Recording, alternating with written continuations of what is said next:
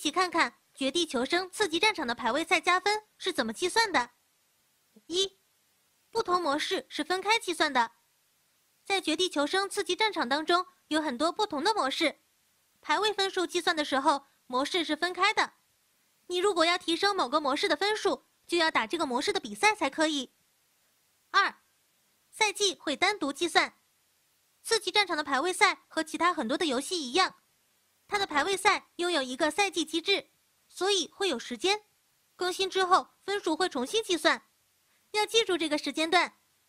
三，每个人都从青铜开始，从我们初始接触这个刺激战场的游戏的时候，我们的排位赛的段位每个人都是一样的，就是从最低的青铜给我们开始，一步一步我们努力提高。四。对手根据段位进行匹配。我们在进行排位赛的匹配对局的时候，我们的对手系统是会参考我们的段位和历史表现去分配的。如果和你组队的队友有更高的段位，那么对手可能也会强大起来。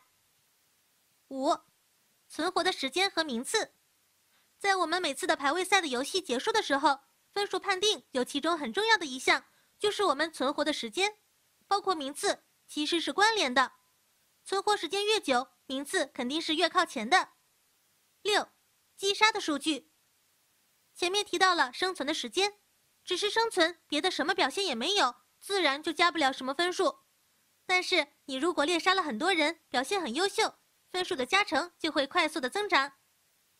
七，到达分值自动晋级。